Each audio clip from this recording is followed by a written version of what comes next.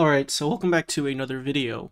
So in this video, we're going to go ahead and talk a little bit about the analytics and how we're going to actually make it so that we can render all of the analytics on the dashboard.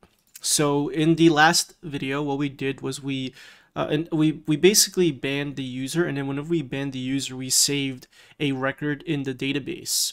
So that way we know when we banned the user, who we banned, etc., etc. And the whole point of that is so we can go ahead and reference uh, that later.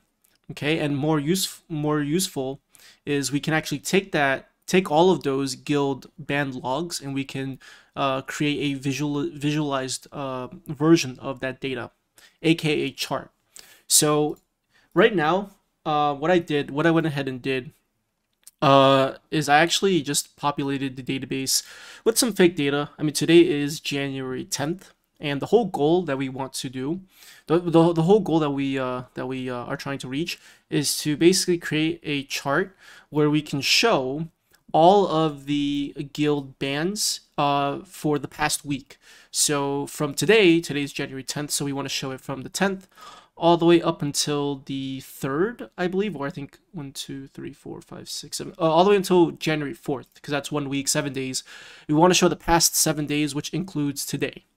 Okay, and we also will have an option where we can show the past 30 days as well. So usually uh, some applications they have like uh, they have like kind of like a drop down box where you can select uh, how far back you want to show results for uh, what we'll do is we'll set it up so that way we can just show the first, or not the first, the last seven days. And then later on, once we finish that, we'll actually make it so that you can show the last 30 days as well. Okay, so uh, on Chart.js, which is the library that we're going to use, we're actually going to use React Chart.js, uh, which gives us uh, Chart.js components for React, because that's the library, uh, well, that's the front end the library that we're using. And the chart is going to look something like this. Let's, it's just going to be a basic line chart. Uh, if you want, they have different types of charts too. They have bar charts, they have uh, radar charts, they have donut and pie charts. But I think for something like analytics, I think a line chart is perfectly fine. Uh, so we'll go ahead and use that. So you can see that right over here. Uh, obviously, these are months, January, February, March, April. Uh, what we'll do instead is we'll just show like the actual, uh, the date. Like for example, um, for example, this right over here, all the way on the left, this would show like the, the seventh day before uh, today. So it would show January 4th, and then January 5th, 6th, 7th, 8th, 9th, 10. So that's 7. And then the line chart, each point will basically just be the number of guild bans that were that were occurred on that day. So if we were to go to the database table, you can see that we have it uh, formatted, not formatted, but we have our uh, data in such a way where we have the issued on, which is just a date time. And you can see that we have bands, Like I said, these are just fake fake uh, data that I that I use just to make everything work. But obviously this could be realistic data too. All I just did was I just used the command multiple times and it would just create a record in the database. Okay, but you can see that right over here that we have this issued on column and we can see the date that the ban was issued on or the date that this record was created on. So you can see that right over here, it was created on January 9th, January 9th, 8th, 5th, 4th, 3rd. Uh, obviously, like I said, this is all fake data. I just, you know, subtracted the date so that it could go back a couple days just to, just for demonstration purposes, obviously. But as you use your bot, as you ban users from your guild over time, this would obviously populate to realist, this, this would be realistic data, of course. Okay, and so let's say, for example, uh, I think there are, let's see, one, two, three, four, five, six, seven, eight, nine. So there's nine records that were created on January 10th. Okay, so what that would mean would be on January 10th, you would see on the chart, it would it would have it, it would it would be the value of nine records. Okay, so you can start to imagine how your graph would look like on each day or based off of the statistics for each day. So hopefully that makes sense. Okay, so uh, what we're gonna do is in order for us to actually get the data to render on the front end, we're actually going to have to go to our backend first. We're going to have to set up uh, an API route so to get the actual guild bans. And then we're going to have to actually go to the front end and then fetch those guild bans so that we can actually render data on the front end. Okay, so uh, I just wanted to make a quick video just to explain the whole uh, purpose of this. All right, so we're inside the Nest.js project right now. And what we need to do is first off, we need to actually create the entity for guild ban log because we created it on the Discord bot project, but we had not created it for the Nest.js project yet. So we're going to have to do that. So of course, we're going to have to just copy the entity. So let me do that and then just paste it inside the, uh, well, we're going to have to create a new file. So let me do that. Guild ban log.ts and we'll just paste it in here. And it's literally just going to be the exact same thing. Okay, now I know this could be a little bit problematic. Well, not really problematic, but it could be annoying to kind of just like copy and paste the same entity over and over again. You can imagine it'd be a little bit annoying and hard to maintain if you have a bunch of different, if you have like a bunch of different um, entities that you need to kind of share between the API and the bot. One thing that I think uh, would be great is probably creating like some kind of middle layer between the API and the bot to communicate. So that way you can just update it in one area and that's it. But uh, even then, it could be a little bit tricky though, but I'll probably uh, figure that out on my own time. And then if I find a, uh, a good viable solution, I'll share it with you all later. But don't worry about it for now because we don't have to worry about this because we don't have too many entities and it's not going to be super difficult to maintain this anyways. Okay, so we created the guild ban log. Let's go ahead and import this inside our index.ts file. And we're going to, so that way uh, when we export it from this entities array, it'll actually get registered inside the TypeORM configuration. Okay, so let's do that. And this is also known as a barrel file, which is a good strategy to pretty much export a bunch of different uh, variables or constant values that you need, or just really anything. So that way you don't have to like individually export or import every single uh, every single variable or class or method that you need in a file. Okay, so for example, we have export const entities. We add that to the array, the guild ban log, and that automatically just gets applied right over here. Okay, so now if we were to go into our database, um, or not go into our database, we would actually be able to interact with guild ban log database table because we have that entity registered in our Nest.js project. So now that we have done that, uh, what we're going to do is we're going to go ahead and create uh, an endpoint. So I think the best thing that we'll do is uh, we'll, we'll go inside the guilds module because it makes sense because this belongs to the guild. Okay, anything that's to do with guilds, guild configuration stuff, we'll put that inside the guild, the guilds module. Okay, so what we're going to do is we're going to go ahead and create an endpoint. So this is the guilds controller. And we're going to go ahead and create a get. And I'll just call this uh, get uh, guild bans. So uh, I am thinking this endpoint is going to be slash, let's see, it's slash guild slash bans. So like that. Okay. Or actually, uh, wait, we need the guild ID. Forgot about that. So the ID of the guild and then the resource that we want, which is bans. Okay.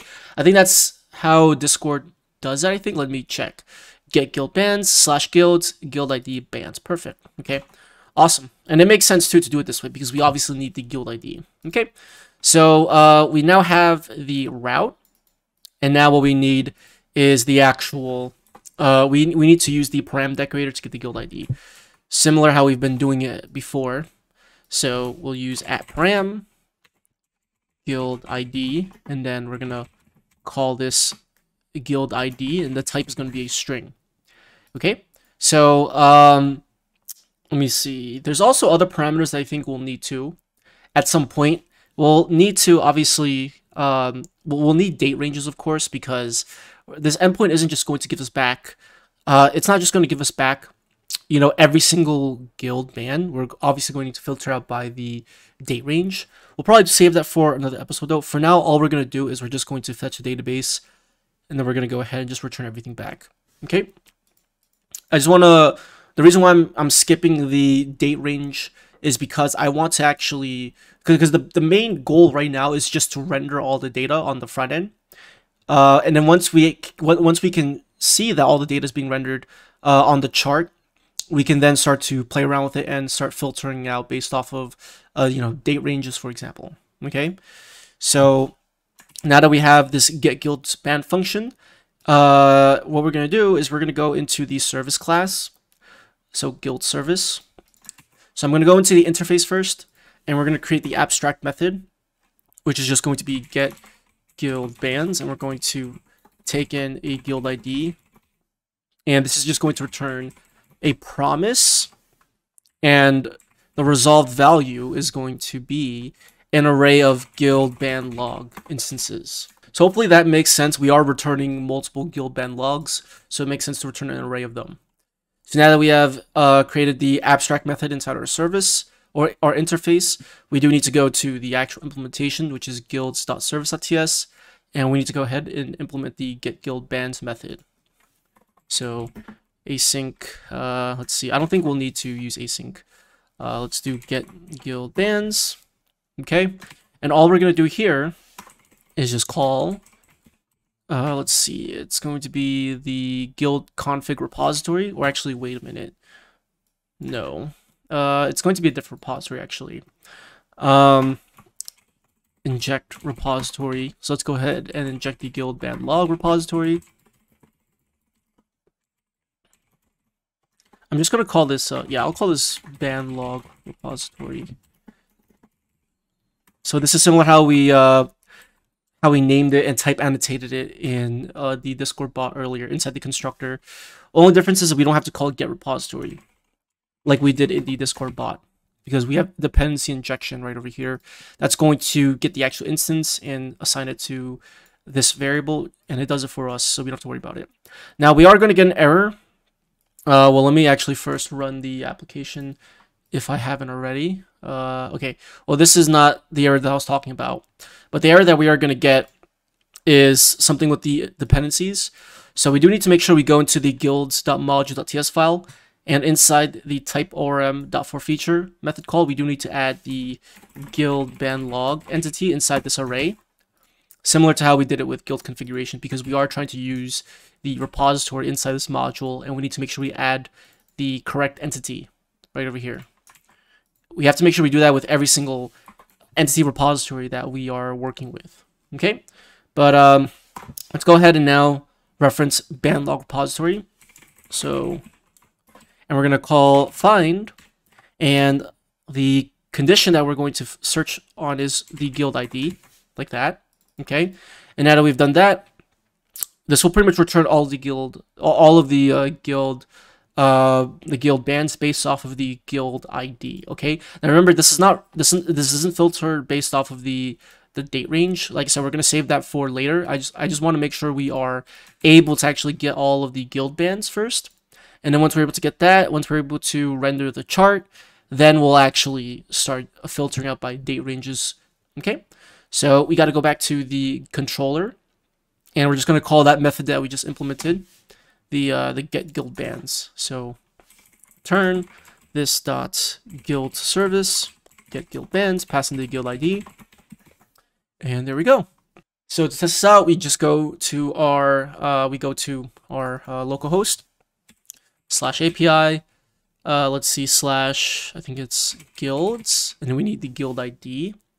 So the guild ID, I will just uh, grab the guild ID where we banned all those users. So this is my guild ID and then slash bans. And you're going to see that this gives us an array of uh, guild ban log instances. Okay, and you can see that it's all right over here. There's about uh, 30 of these records, or 31. And literally all we're going to have to do now is just go to the front end on our React application, fetch this endpoint. And we're going to actually have to do a little, do a little bit of, uh, do a couple things. Uh, I think we might actually handle this on the back end, which we'll probably do in the next video. Because what we're going to have to do is we either have to do this on the front end or the back end. But essentially, we need to basically um, get every single get every single uh, we, need, we need to categorize this into dates right because essentially what we need to do is we need to search the database based off of the for all of the guild uh, ban log records from today the current time uh, all the way up until seven days ago. Okay, so today's the 10th, so we have to search all the way up until the 4th because that's seven days ago. So uh, you can either do that on, I think the best thing to do is obviously handle this on the back end. So I think we might actually need to do that first before we actually uh, go over to the front end. So uh, I'll save that for the next episode because I think we are out of time. So I'll see you all in the next episode where we're actually going to set up date ranges so we can actually query the database uh, based off of the date ranges. So thank you for watching, and I'll see you all in my next episode. Peace out.